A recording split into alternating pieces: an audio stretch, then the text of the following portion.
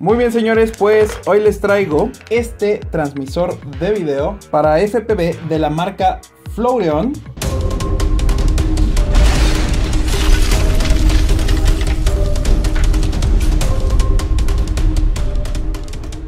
Es el Floureon FT01, cortesía de GearBest y van a poder encontrarlo abajo en la descripción.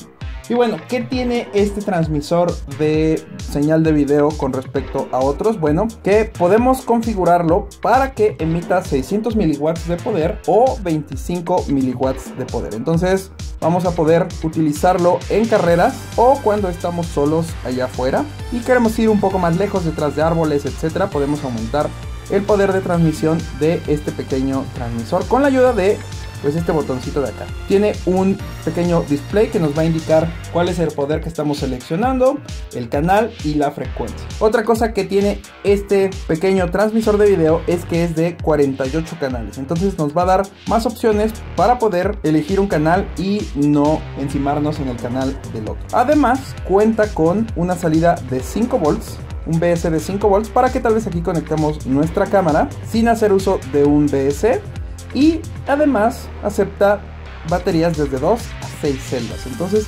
está súper interesante este transmisor de video. Lo único malo que le veo al transmisor es que únicamente podemos conseguirlo con RP SMA. Si queremos utilizar SMA, es decir, sin esta pequeña puntita, pues no lo vamos a encontrar. Lo podemos encontrar con el conector de la antena en L y también lo podemos conseguir con el conector en recto. Entonces me parece que es una muy buena opción para cuando competimos y para el uso diario porque podemos cambiar el poder.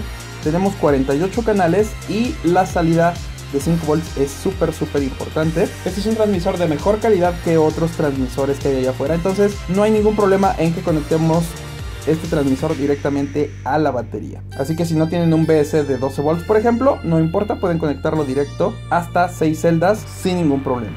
¿Ok? Viene con su cable conector para conectarlo, bueno, pues a la cámara, a nuestro OSD, a la corriente, etcétera. Y también incluye una antena que en realidad no sé por qué se molestan en seguir metiendo estas antenas, porque pues bueno, no son muy prácticas para FPV, por lo menos en los drones de carrera.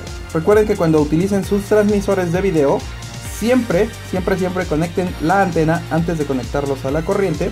Y pues bueno, es muy fácil utilizar este transmisor.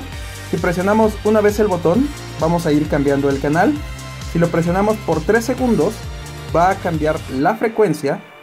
Y si lo presionamos por 5 segundos, vamos a ver una H o una L que nos van a indicar si estamos en high, o sea en 600 miliwatts, o en low, una L de 25 miliwatts. Entonces es bastante sencillo de utilizar con un simple botón y la ayuda de nuestro LCD. Este transmisor de video lo voy a colocar en el QABR 210 que ya les mostré y que seguramente van a encontrar acá arriba. Y ahí es donde les voy a mostrar cómo es que funciona este pequeño transmisor de video. Entonces suscríbanse para que no se pierdan cuando arme este quad. Y si ya está armado seguramente también lo van a poder encontrar aquí arriba y abajo en la descripción. Recuerden que esto es Drompedia y nos vemos en la próxima cuando arme todo esto.